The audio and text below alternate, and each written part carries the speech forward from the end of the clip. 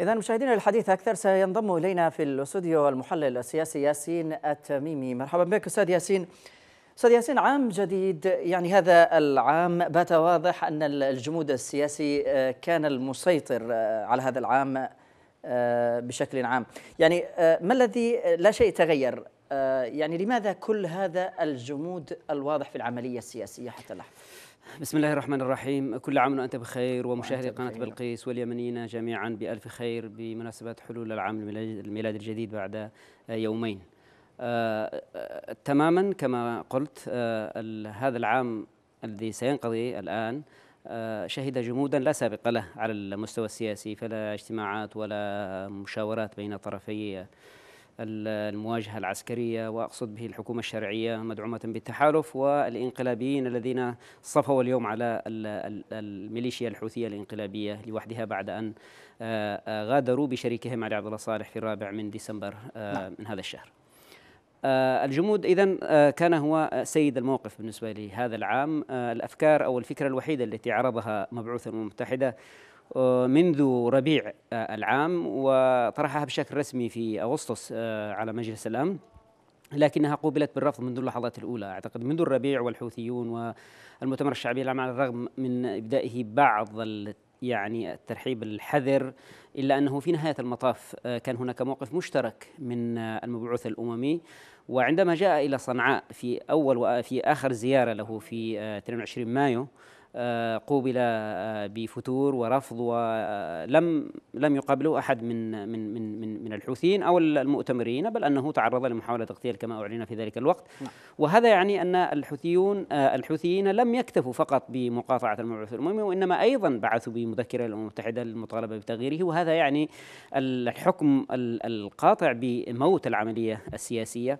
وفي المقابل العمليات العسكرية بقيت متقطعة و يعني هو انسداد الأفق والجمود الحاصل في المسار السياسي خلال هذا العام. يقابل يفترض توجه عسكري كيف تقيم التوجه العسكري خلال هذا العام؟ التوجه العسكري كعادته يعني حتى مع مع يعني هناك إنجازات عسكرية مهمة لا يمكن إنكارها في الساحل الغربي.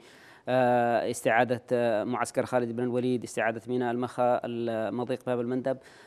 ومؤخرا بطبيعة الحال استعادة كامل محافظة شبوة والانطلاق بالمعارك إلى محافظة البيضاء. لكن المشكلة أو الإشكالية بالنسبة للتحالف العربي أنه لا يربط بين الإنجازات العسكرية وبين الفوائد المباشرة التي تتحقق لليمنيين بل أن هذه النتائج النهائية للعمليات العسكرية تتحول إلى وبال.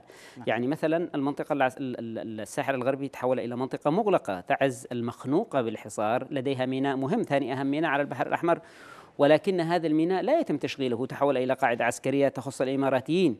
وهذا فاقم من من من من من التضييق على تعز، ضف إلى هذا أن الحراكيين الانفصاليين في المحافظه الجنوبية يقيمون أسوارا من الإجراءات الأمنية التي تحول دون انتقال اليمنيين بسهولة هو أستاذ في أرضهم يعني وتحت سنتحدث بشكل أوسع على الجانب العسكري فيما بعد ولكن فيما يتعلق بالمسار السياسي يعني آه لا يزال الحديث هل لا يزال الحديث عن مرجعيات الحل السياسي المتفق عليها ممكن حتى اللحظة؟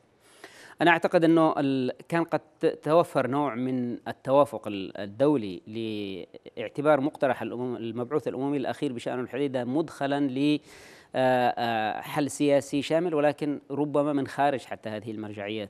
وهناك أطراف في التحالف العربي يعمل بهذا الاتجاه لأنه أعتقد أنه حتى هذه الأطراف في التحالف العربي باتت تنظر إلى القرار 2216 على أنه يقيد حركتها وأهدافها وأجندتها في اليمن وهنا تكمن الإشكالية. يعني بالنسبة لليمنيين الذين احتكموا لهذا القرار ورأوا فيه مناسبة ومخرج لحل مشاكلهم السياسية اليوم يواجهون إشكالية أن الأطراف الم... الم... التي تخوض المواجهة الحربية في اليمن لم تعد مقتنعة بهذا القرار وهذا قد يجر البلاد إلى مجاهل حقيقية في حقيقة الأمر. صحيح أنه جرى على الأرض تغيرات مهمة وجوهرية اختفى من الساحة لاعب سياسي مهم جدا وهو المؤتمر الشعبي العام وقائده علي عبد الله صالح بعد مقتله في الرابع من ديسمبر.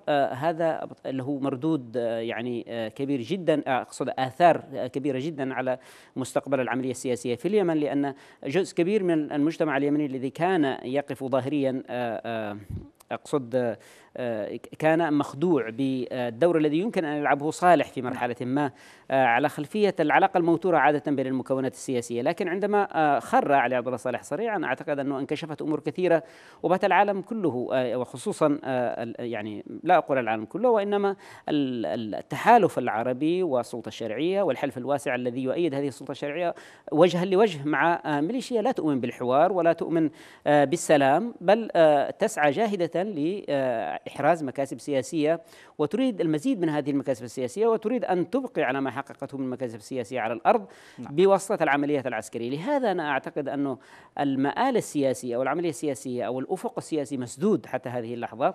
آه، التوتر الحاصل بين الأمم المتحدة والتحالف العربي لم يعد يوفر أرضية مناسبة لإطلاق مشاورات يمكن أن آه، آه، تحظى برضا أو تغطية من التحالف العربي ولهذا التحالف العربي انصرف على هذا الصعيد ضمن إطار الرباعية. التي انعقدت مؤخرا في أبو ظبي نعم. والتي بدأت تتبنى أفكار مهمة جدا وتفرض حتى على التحالف تبني أفكار من قبيل الانفتاح على القوى السياسية التي ظلت تتحفظ عليها طيلة الفترة المقبلة أنا أعتقد أنه ليس أمام التحالف من أجل أن يتجنب الوقوع في مستنقع طويل الأمد في اليمن سوى العمل الحثيث والسريع على بناء تحالف وطني يمني واسع الطيف مؤيد لحل سياسي بدون تغول الأطراف الطائفية نعم. التي تجر البلد إلى دوامة عنف طويلة الأمد في نعم في لكن البلد. سيد ياسين يعني اليمنيين إذا ما تحدثنا عنهم إلى أي مدى يمكن آه، استئناف عملية التحول الديمقراطي يعني التي توقفت جراء الانقلاب الحاصل العملية التحول الديمقراطي هي طبعا آه، مع انطلاق أولى رصاصات الحوثيين ومن ساندهم في آه، عام 2014 آه، يعني جرحت وأعيقت ومن الصعب جدا اليوم الحديث عن استئناف للعملية السياسية الديمقراطية بدون الأخذ بعين الاعتبار المعطيات التي فرضتها الحرب والمآلات التي آه، آه، تذهب باتجاهها الحرب في هذه المرحلة خصوصا وأن الحرب لم تعد حرب إسناد للسلطة الشرعية في مواجهة انقلاب وإنما حرب للتحالف حرب آه، تكاد تأخذنا إلى مرحلة جديدة من الوصاية السياسية الشاملة. وبالتالي حتى اليمنيون اليوم أو حتى اليمنيين أنا أعتقد أنه فقدوا السيطرة على على مسألة يعني فقدوا السيطرة على العملية السياسية آه، المحسوبية معسكر الشرعية آه، قراره شبه مصادر من جانب التحالف نعم. والحوثيين اليوم الذين صفوا في الجهة المقابلة آه، لا يؤمنون بالعملية الديمقراطية وليس من صالحهم حتى التعاطي مع العملية الديمقراطية. وأي حوار الآن أو أو أو اقتراح حوار مع الحوثيين فلن يقبلوه إلا بصفتهم دولة والبقية معارضة. وهذه نعم. وهذا فخ كبير جدا. لهذا أنا أعتقد أنه آه، من السابق لاوانه اليوم الحديث عن استئلاء لكن استئناف يعني الانتقال آه، الديمقراطي قبل في ظل الواقع إنهاء الاستحقاقات العسكرية. نعم في ظل الواقع هذا اليوم. الواقع اليمني بشكل عام يعني ما توقعاتك للسيناريوهات السياسية القادمة؟ آه هناك مؤشرات كبيرة على أن التحالف وفقا للأولويات السعودية وليس الإماراتية. بدأ يتجه نحو الحسم العسكري وأنا أعتقد انه المملكة العربية السعودية مدفوعة أو محكومة ب آه، ب يعني ب الإحساس بمن مست كرامته. آه، السعودية في نهاية المطاف دولة إقليمية كبرى وقدرتها التسليحية لا غبار عليها ومع ذلك تتلقى صاروخين متتاليين خلال نعم. أقل من شهرين. آه، الأول يستهدف مطار الملك خالد والثاني يستهدف آه، القصر الملكي. يعني رمز من الرموز السيادية للمملكة العربية السعودية. هي اليوم محكومة بهواجس وقلق التخلص من هذا العدو الذي يترسخ تترسخ جذوره في الحد الجنوبي للمملكة العربية السعودية نعم. لهذا أنا أعتقد أن المملكة العربية السعودية باعتبارها على رأس التحالف هي اليوم التي تدفع باتجاه الحسم العسكري دون الحسم العسكري أعتقد أنه لا يمكن ضمان أمن المملكة ولا يمكن ضمان أمن اليمن ولا يمكن آه، ضمان استدامة الأمن والاستقرار في اليمن آه، مع بقاء قوة طائفية متربصة لا تؤمن بالحوار لا تؤمن بالسلام لا تؤمن بالشراكة موتورة ويعني ومسكونة ب بأوهام تاريخية حول الحق الحق الإلهي في الحكم إلى آخره. وهذه آه، آه، هذه هذه القوة الطائفية المسلحة التي آه، ترسخ نفوذها في صنعاء.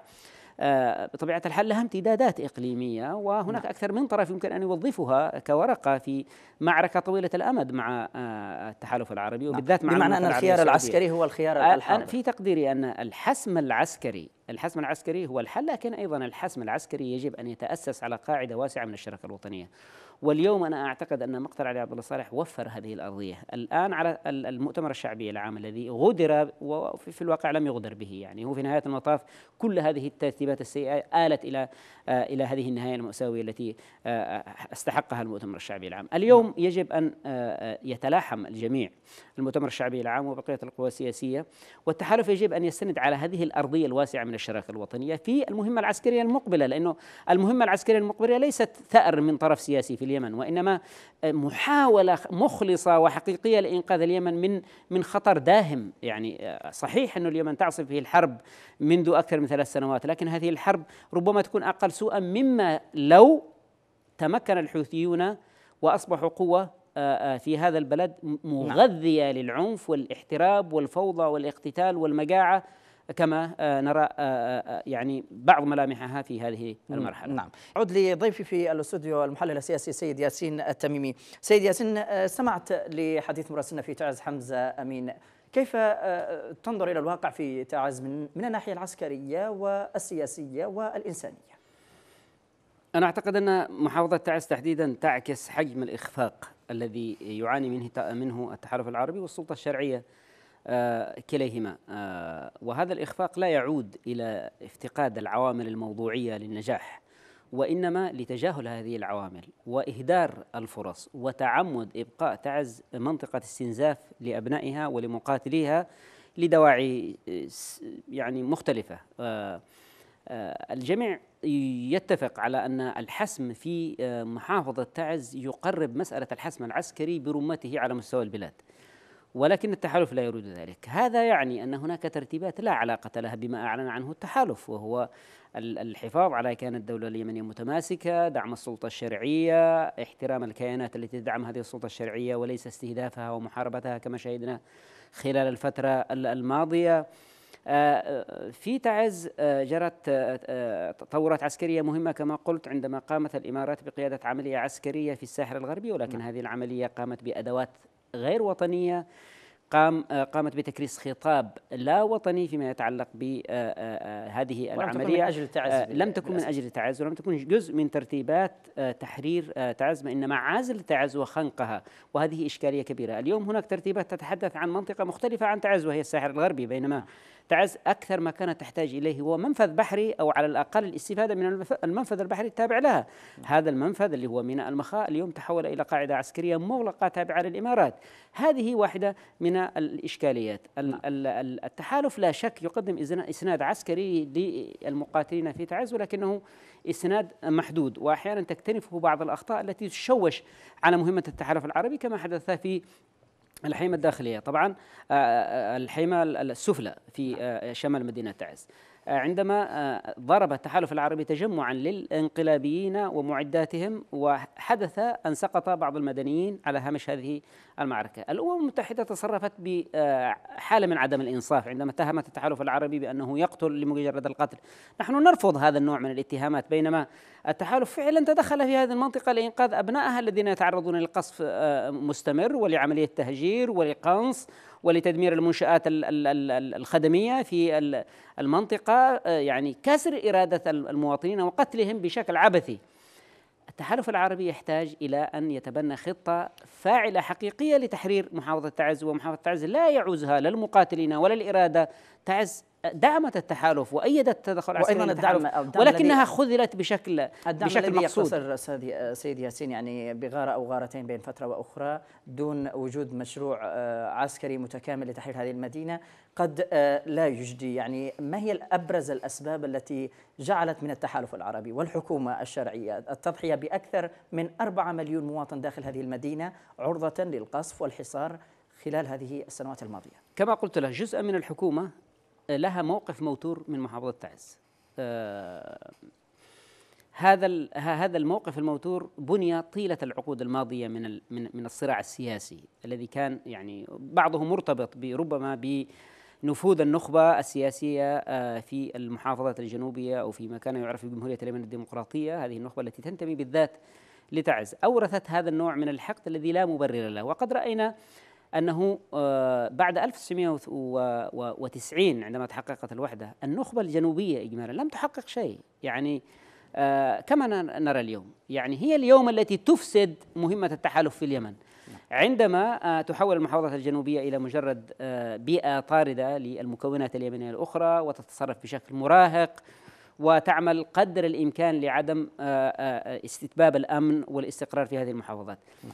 إذا مسألة الموقف من تعز جزء منه يرتبط بأجندة التحالف نفسه الذي آه، ربما له ترتيبات سيئة خلال المستقبل وإلا إذا كان التحالف جاء فعلا لدعم السلطة الشرعية لكان أول أو من أول أولوياته هو دعم تحرير تعز أولا نعم. لأنها تطل على مضيق باب المندب ولأنها فيها كتلة بشرية كبيرة يمكن حتى الاستفادة منها في عملية تحرير قليلة الكلفة نعم. ضد التوجه الانقلابي في بقية المحافظات. نعم، لكن أستاذ ياسين هنا سؤال أخير وباختصار يعني الإنجازات العسكرية التي آه، حققت آه، خلال العام المنصرم إلى أي مدى يعني نستطيع القول أنها مرضية؟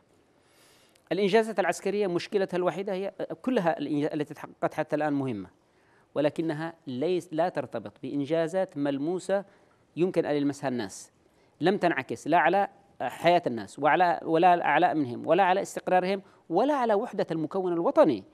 المكون الوطني يتفكك ويتشظى نتيجة هذه الإنجازات الإنجازات العسكرية لأنها نتائجها سيئة. جاءت وأنشأت مكونات عسكرية لا وطنية غذت الصراع المناطقي آه، غذت الصراع السياسي بين المكونات السياسية وأيضا حولت المناطق المحررة إلى بيئة غير آمنة. إذا ما, ما هو الفائدة؟